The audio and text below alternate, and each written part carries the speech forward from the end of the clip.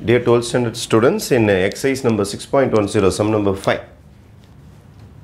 டாட்டும் கிராஸும் வந்தால் it is box product டாட்டும் கிராஸும் வந்தால் it is box product A B C cross dot வந்தாலும் பாக்ஸ் ப்ராடக்ட் சிஏபி இருக்கிற ஆர்டர்லேயே தான் எழுதணும். சிஏபி ப்ளஸ் டாட்டும் கிராஸும் வந்தால் it is box product B CA டாட்டும் கிராஸும் வந்தால் it is box product ABC டாட்டும் கிராஸும் வந்தால் it is box product CAB கிராஸும் டாட்டும் வந்தால் it is box product CBA எல்லாமே பாக்ஸ் ப்ராடக்டாக மாற்றியாச்சு பாக்ஸ் ப்ராடக்டில் ஒரு முக்கியமான ரூல் இருக்குது cyclic rule what is the cyclic rule ABC ABC is equal to இதோட ஆன்சர் எதுக்கு ஈக்குவல் அப்படின்னா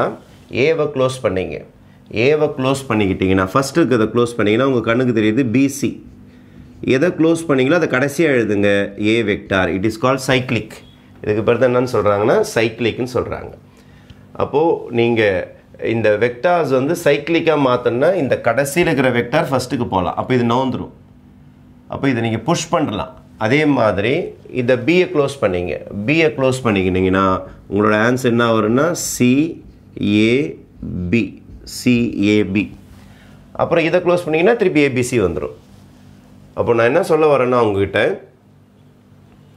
இஃப் யூ புஷ் திஸ் இந்த வெக்டார்ஸை நீங்கள் புஷ் பண்ண புஷ் பண்ண சைக்கிளிக்காக வந்துன்னே இருக்கும். ஃபஸ்ட்டு க்ளோஸ் பண்ணுங்கள் பிசி எழுதுங்க அப்புறம் ஏ வெக்டார் அப்புறம் பிஏ க்ளோஸ் பண்ணீங்க சிஏ அப்புறம் பி வெக்டார் இந்த மூணுமே ஒரே ஆன்சர் தான்.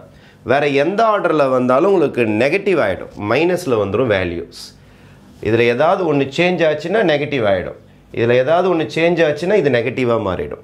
அப்போது பாசிட்டிவாக இருக்கணும்னா இதுதான். இப்போ ஃபார் எக்ஸாம்பிள் இது இந்தமாரி மாறி போச்சுன்னு வச்சுங்க சி இங்கே வந்து போச்சு பி இங்கே வந்து போச்சு ஏ அங்கேயே தான் இருக்குது இது ரெண்டும் மாறி போச்சுன்னா இந்த ஆன்சர் நெகட்டிவாக மாறிடும். மைனஸ் ஏபிசியாக மாறிடும். நெகட்டிவாக மாறிடும். அல்லது சார் இங்கே எதாவது நாங்கள் ரெண்டே ரெண்டை மட்டும் மாற்றிக்க போகிறோம் சார். இங்கே பிஎத்துக்கு இங்கே போட போகிறோன்னா அப்படி போடக்கூடாது. போட்டால் என்ன ஆகிடும்னா இது நெகட்டிவாக மாறிடும்.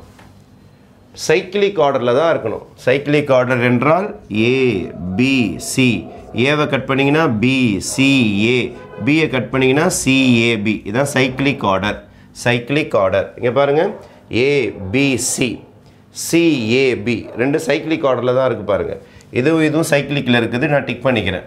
அப்போது ஏபிசியும் சிஏபியும் ஒன்று தான் சைக்கிளிக் ஆர்டர் ரெண்டு பேருமே ஈக்குவல் வேல்யூஸ் அதனால் இது ஈக்குவல் வேல்யூஸ்ன்றனால கேன்சல் ஆச்சுன்னா ஆன்சர் ஒன் ஆகிடும் ப்ளஸ் பிசிஏ பிசிஏ இது இருக்கு பாருங்கள் ஏபிசி ரெண்டுமே ஈக்குவல் வேல்யூஸ் தான். இது அஞ்சுனா இதுவும் அஞ்சு தான் இது பத்துனா இது பத்து தான் ரெண்டும் ஈக்குவல் வேல்யூஸ் அப்போ இதுவும் கேன்சல் ஆகிடும் இதோட ஆன்சரும் ஒன்று தான் வரும்.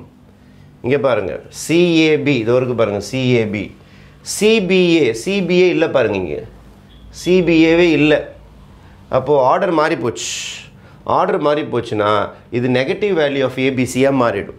அப்போ லாஸ்ட் ஸ்டேஜ் மட்டும் எதனும் பாருங்கள் CAB CAB is equal to ABC CAB is equal to ABC cyclic property use பண்ணி இந்த வேல்யூ போட்டுட்டேன்.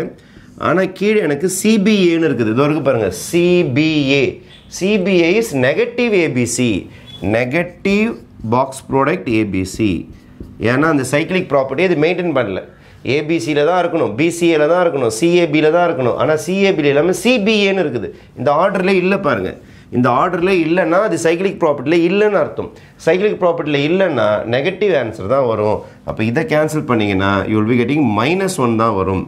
இப்போ one plus one minus one இது ரெண்டும் கேன்சல் ஆயிடுச்சுன்னா your final result will be one therefore your best option will be one is your best option okay thank you